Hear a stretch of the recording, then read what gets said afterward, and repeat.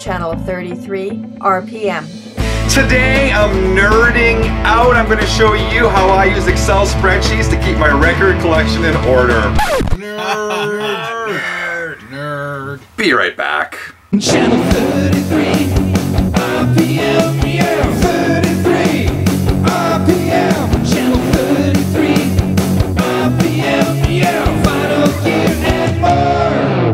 Hey guys, my name is Frank. It's Sunday. That means it's time for an all new episode. A few months ago, I did a video with tips on storing and displaying records. In that video, I mentioned in passing that I use an Excel spreadsheet to help keep my record collection in order. This past week, I got a question about that video from viewer Sean McMillan. And Sean wrote, when you make your Excel spreadsheet, what sort of information about the record do you include? Good question, Sean. Check it out.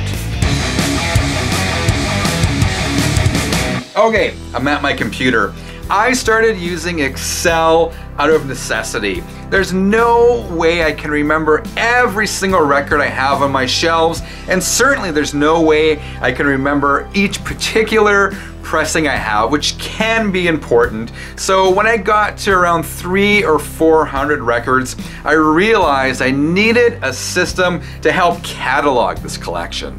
One option is Discogs, which lets you list the records you have in your collection. You can access this information from your computer or on your mobile device. Discogs also provides an estimated value of your collection.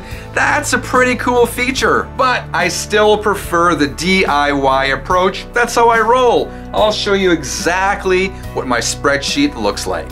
Okay, here's a close-up. You can see my categories uh, along the top here. We have artist, title, year, genre, country, condition, the price I paid, the catalog number, the label, and notes. Any notes I have uh, about the record.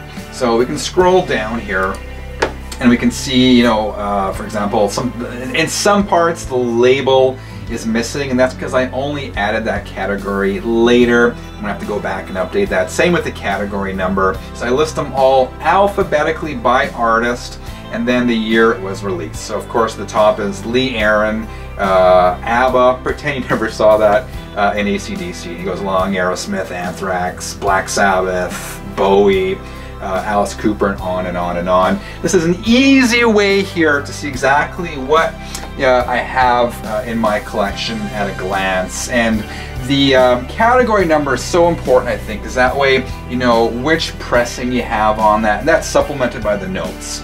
So Alice Cooper for Britain only. It's an EP. Came out in 1982. It's rock. This is a UK pressing. Uh, condition is excellent, excellent. So that's both the sleeve and the record itself. I paid seven bucks for that one. It's the catalog number and a little note to myself. It's a three-track EP with the Alice Cooper order form. So I have a lot of Priest in my collection. Um, you know, I'm a big fan of these guys. And looking at this, I realize how many multiple copies I have of certain records. So if you look at Screaming for Vengeance, I got four copies of that. British Steel. But you I can look at this and figure out how much I paid, the condition, I see it all, uh, you know, at a glance. Same with Kiss. I got some various Kiss ones. Unmasked. How many copies of Unmasked do I have?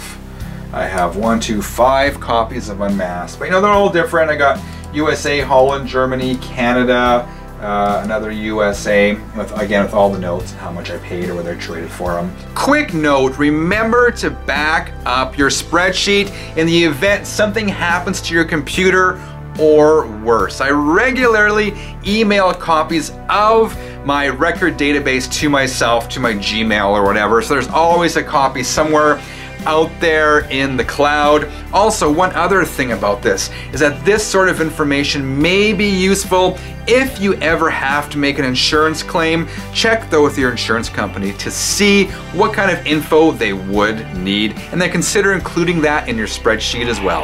Let me know what you thought of today's video in the comments below. Do you catalog your collection? What method do you use? What categories do you use? I'd love to hear from you. Remember, if you enjoyed this episode, leave a quick like, and if you haven't subscribed yet, What are you waiting for? Join the community. Click that subscribe button and you'll never miss another episode again. Thank you, as always, for your ongoing support. Until next time, vinyl friends, keep on spinning.